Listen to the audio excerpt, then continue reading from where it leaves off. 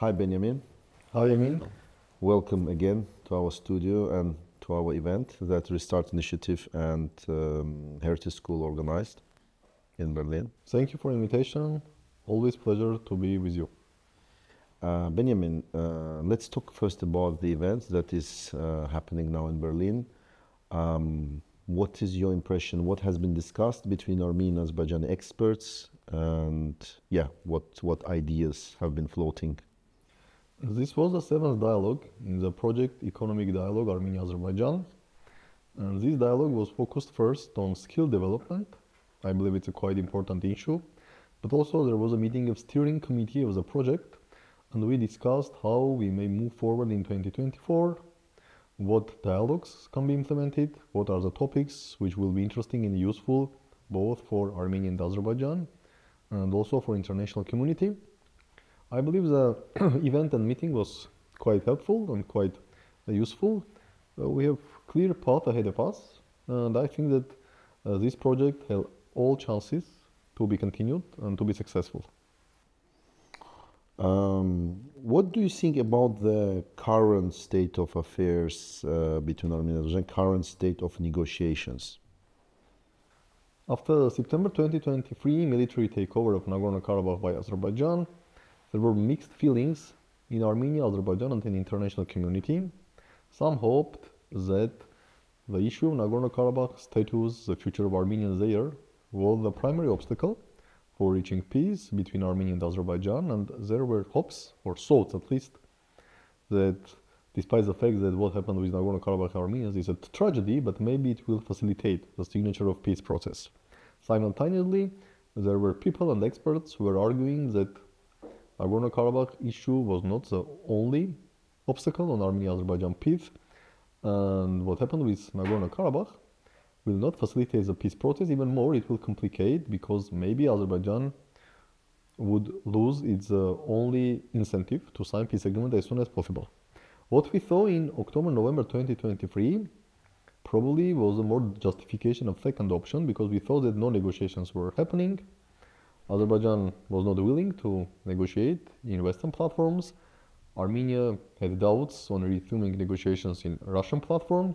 So there was a no negotiation. There was a hope, there were hopes that, okay, meeting between President Aliyev and Prime Minister Pashinyan might take place in Granada in early October, then in late October in Brussels. Then Americans jumped in. The idea was to organize a meeting between foreign ministers on November 20. But Azerbaijan rejected all these claims for different reasons. And at the beginning of December, mm, there was a feeling that the peace process is stalled and there were concerns that in the case of absence of peace negotiations, a military escalation may happen, if not now, at least in spring, summer 2024. Then we had this December 7, 2023 joint Armenia-Azerbaijan statement, or the statement of prime administration of Prime Minister of Armenia and the presidential administration of Azerbaijan about uh, two sides' willingness to continue negotiations to reach peace, and also very important step was taken Azerbaijan released 32 uh, servicemen and Armenia released two Azerbaijani uh, servicemen.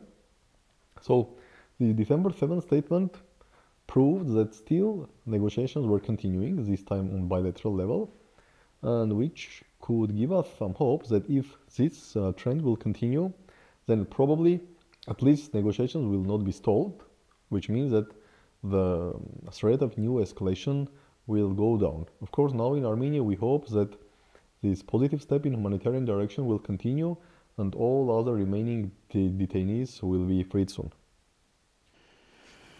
Yeah, and what do you think about the, uh, let's say, let's assume that the peace agreement will be signed at the end. Yeah, this will be the scenario. If this happens, uh, where do you think strategically uh, Armenian and Azerbaijani governments, but also civil societies, should cooperate? What should be like two, three most important strategic focus points which could help these societies, if not reconciliate, but at least to start the normalization process and develop it?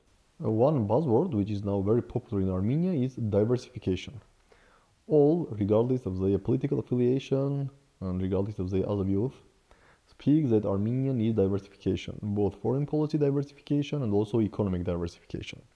Of course, there are different approaches. Some see the diversification as some anti-Russian steps that okay, we should be uh, far, we should move, we should start our movement away from Russia, we should be anti-Russia. Some are saying that okay, let's not replace or confuse diversification with anti-Russian policy. But again, all agree that Armenia needs foreign policy diversification and economic diversification because the current geopolitical situation in South Caucasus is completely different that we have only 10 years ago, for example, in 2013. Uh, that is why if the situation was changed, your foreign policy and your economic policy should be changed too.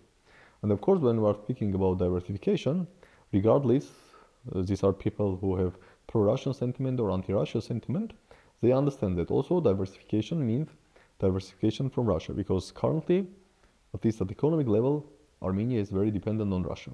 On import, on export market, like approximately 50% of Armenian export goes to Russia. We are receiving 100% of domestic consumption natural gas from Russia. Yes, we also receive gas from Iran, but this gas is being transformed into electricity and then be re-exported to Iran. So in this case, if Armenia-Azerbaijan peace agreement is signed and if there will be a possibility for Armenia-Azerbaijan economic cooperation, I believe at least in Armenia, people will be interested to see how this potential Armenia-Azerbaijan economic cooperation may facilitate the diversification of Armenia's economy.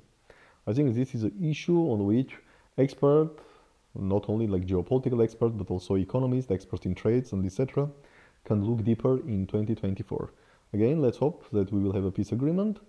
And if there is a peace agreement, number one issue which can be discussed is it possible to use this emerging or starting Armenia-Azerbaijan economic cooperation to facilitate the process of diversification of Armenia's economy?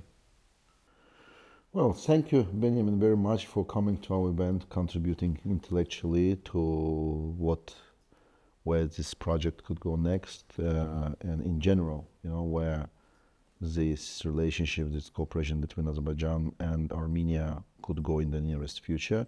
And thank you for giving us interview once more. Thank you, Alan. Thank you.